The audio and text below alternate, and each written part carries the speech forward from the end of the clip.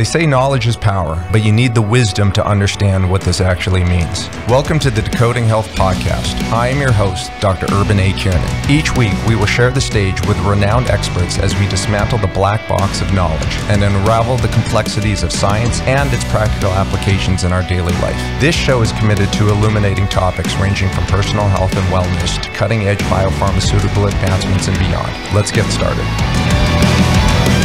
If you're ready to enhance your wellness with personalized care designed to optimize performance, look no further than Foresight Chiropractic. Utilizing state of the art, gentle, and non invasive techniques, Dr. Lavender and his dedicated team are here to help you recover quickly, feel your best, and reach new heights in your performance. Visit them at foresightchiropractic.com and don't forget to mention the Decoding Health podcast when you book your appointment to receive a free consultation and special discount on a nervous system exam. Once again, that's foresightchiropractic.com. Okay, so we've been doing a lot in breaking down body performance, human general performance, and going over biohacking tips, tricks, and wellness. Talk to me about MOTS C. What is it? How do we take it? Do we want to take it? Is it regulated? I have lots of questions about this particular peptide. Gotcha. And I'll, I'll answer the majority of your questions. And again, just with all of this biohacking stuff, I'm going to throw this disclaimer out there. I am not going to tell anybody dosing regimens, dosing strategies stacking, all of the stuff that would be associated just because of the regulatory aspect around this i'm i'm not throwing any of that stuff out there. We're going to talk about what it is what is the science around it what is the published benefit what are the published risks and then if this is something that you want to do turn around and make that decision for yourself because we're all grown-ups here. So, long story short, MOTS-C stands for mitochondrial open, mitochondria open reading frame of the 12S RNA type C. So that's I had to write that down on a piece of paper simply because it's a lot, but rolls that's, right off the tongue. Rolls right off the tongue. So you know, again, it's just MOTS-C for short. Um, and what is it? So your body actually produces this. And so it's actually generated in your mitochondria. And we've talked about mitochondria before. Each of your cells has normally like a hundred, maybe even more, depending upon the, the cell type, mitochondria, and those act as the powerhouse of the cell. And so when your your your body is stimulated by exercise. Ooh, exercise is, is, is stimulation. Your mitochondria actually produce MOTS-C, and it helps improve cellular function. Now, what happens is, and I think I mentioned this before on, on the show, is some of that MOTS-C, even though it's produced within the cell, will wind up in your bloodstream. And then that MOTS-C will go to other cells, enter the cell, and then turn around and stimulate the mitochondria. So even if you are only working a particular body part or something, there is actually scientific evidence through the application of MOTS-C more of a systemic or holistic full body type benefit okay again work out the entire body but if you're only working out certain regions there are other parts of your body that will receive benefit partially due to the protection of MOTS-C. So now here you have um, this stimulation of the mitochondria, and very similar to like what we had talked about previously with methylene blue. It's you get your powerhouse of your cell revving and up and running, you're, you produce more energy because your mitochondria, that's where your, your TCA cycle, citric acid cycle, Krebs cycle, again, three big words for the exact same thing. That is where the majority of your energy, that ATP, the uh, adenosine triphosphate, is actually produced. And um, you just have more of those molecules, your your your high performing um, cell types and tissues, such as your muscle, your brain, your liver, they're all going to go and perform better. Now, why should you care? Well, let's talk about glucose uptake because most Americans, I think it's 93% of Americans, are to some degree metabolically metabolically incompetent. Okay, and that's because of the growth of obesity. You could even be at a normal weight, but you can still have metabolic challenges in which your body just uh, does not utilize glucose properly. And so, this is something, at least in theory, through the use of something like MOTS-c, you can actually turn around and improve upon that. So, there is some level of data. Um, there isn't a lot of clinical data clinical meaning done in humans. There's a lot of stuff that's done in animals, but you know, maybe unless you've been divorced and you know your ex, there's a huge difference between a human and a rat. so unless you have like an ex-spouse out there or something like that, it would hard to make that association that rats and humans are the same. I just want to throw sure. a, little, a, little, bit of humor out there. But you know, n- nonetheless, it's just the metabolic the metabolic differences between you know, Rodentia versus Primata, those are the families that we, we fit into, are grossly different. However, they are seeing benefits with the use of MOTS-c from a endocrinology standpoint. So there's actually some data that suggests that it can help in um, ameliorating obesity. Okay, so burning fat. It can improve insulin sensitivity. And the benefit of that is it would help you in the treatment of, potentially help you in the treatment of um, type 2 diabetes, prediabetes, insulin resistance. Okay, so those those are the the the, the pathway along that you know disease uh, um, uh, pathogenesis. Um, so mitochondria or MOTS-c would have an influence there.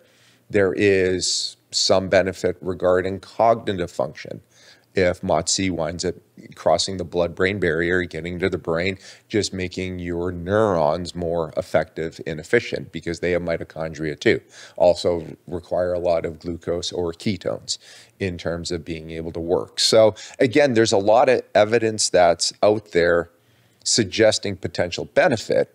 However, though, as a part of MOTS-c's biological activity, it does increase your AMPK pathway. And that's a phosphorylation pathway, which is extremely important for, for um, uh, your metabolism, glucose use, but it also has certain influences regarding cardiovascular health. And you could end up this is always the risk when you're dealing with something that is influencing um, AMPK is you could wind up with heart palpitations, um, tachycardia, uh, which means that your heart starts beating really fast, um, even potentially AFib, um, atrial fibrillation, in which your atrium begin beating so fast that it actually isn't a heartbeat. It's just kind of like a, a quiver or a flutter, which could be actually potentially life threatening. Now,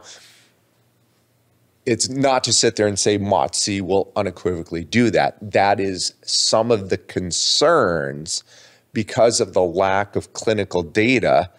Like I even brought this to some colleagues of mine at Yale University School of Medicine, very, very high level endocrinologists, very well respected in the world they were not so enthused about this because of the negative influence of other drugs that have influenced AMPK. And there's no evidence to suggest that this would not result in the same type of negative side effect. So there needs to be more data. Now, the whole reason why I brought all of this forward is partially so you understand and you know, but MOTS-c is not approved for human use. Okay. And that is a part of the reason why. And there's all of this controversy at one point in time because it is produced by the body that compounding pharmacies could make this this uh, 16 mer it's you know 16 amino acids you know uh, MOTS-c is very, very small. They were producing it, putting into a formulation, and then people were injecting it into themselves. The thing is, though, is very recently it got put onto uh, the category two, in which there's huge safety concerns. And so all of MOTS-c out there is supposed to be labeled as research use only. There is not supposed to be any guidance that's given on it. Um, I know physicians who are treating patients who are taking MOTS-c and everything gets annotated in the patient's notes that the patient is electing to do this on their own. Their dosing strategies, they've determined this on their own, and their role as their clinician is to monitor them for any potential negative side effects. So we're there just to make sure that nothing bad happens. But as a licensed professional, I have nothing to do with them doing it other than the fact that they're telling me that they're doing this. I'm giving zero guidance on that. And that's just the God's honest truth of where MOTS-c fits into American society right now. I know there was one company, uh, CohBar Therapeutics. Um, they were trying to innovate their own version of MOTS-c um, as an actual pharmaceutical. Last time I checked, they were not doing so well. Uh, but I, was, I, I, couldn't find any data. Got it. Regarding it. Um, and so, you know, general questions was, is it just, you know, maybe they were just bad stewards of money and they ran out of money. That happens in a lot of companies. Or is there something wrong with the actual molecule because it is dealing with the cons- potential of the AMPK? Was it leading to some sort of side effect? So again, I can't comment on either side of that coin. From what I understand from people, they feel great on it. Awesome. I totally support that. Uh, personally, do I have some level of interest in this? Sure. Why not? I'm all about, you know, how do I hack my body and move this forward? Um, however, though, one of the general questions that I have for this is if you're already doing a lifestyle and diet in which you are already revving up and maxing out your your mitochondrial function since the benefit of this molecule is all predicated on taking mitochondrial function to the next level are you able to go and squeeze anything more out of it? And what is the risk to reward that's associated sure. with that? So again i can't comment on that. That's something that you as an individual who has autonomy over your body, hopefully, um, you go and you make those decisions for yourself. But I just wanted to go and just kind of throw that all out there because it is one of those things, hashtag trending. Yeah, absolutely. you know, there's a lot of interest in that. Again, if this works out and is, is, is something that works for you, by all means, have at it. I, I have no say in it. However, though, I just want to throw that out there good, bad, indifferent, all the information regarding that. Just so you can't be sitting there saying, well, I didn't know. Well, now you freaking know. Now you know. Now you know. And again, that's the whole point of the show. So I really appreciate you bringing this forward. Yeah. Hashtag, hashtag, All the hashtags, all the things we can do to biohack and make ourselves better is fabulous.